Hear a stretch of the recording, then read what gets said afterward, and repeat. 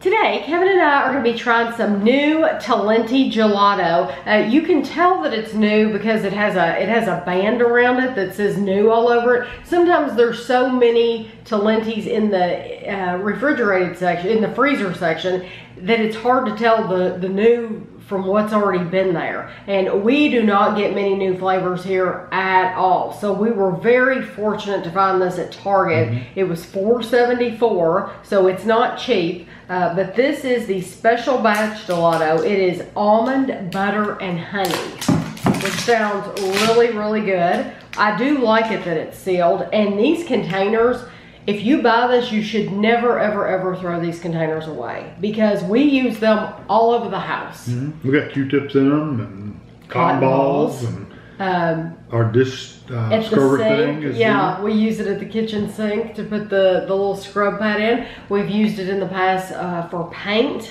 Mm -hmm. uh, oh, they make good paint containers. These are awesome containers. Yeah, if you have like a your own like tool shed, you could put like a little screw. There's just a million crayons. Uh, use them for anything, so don't throw them away.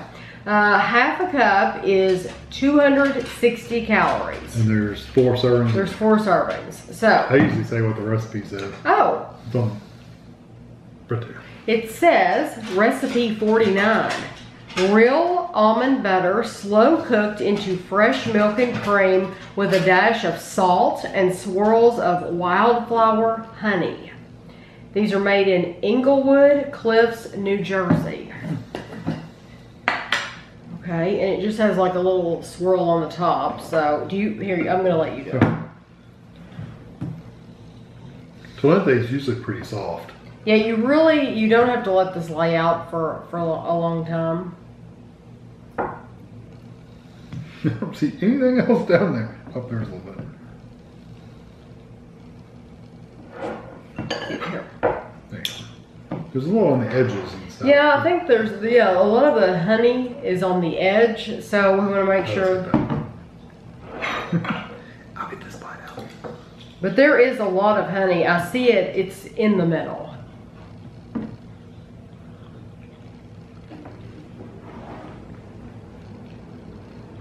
Do you want?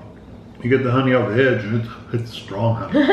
It's, it's, honey, honey. It's strong in the middle too. Is it? Mm-hmm. I really taste the almond flavor though.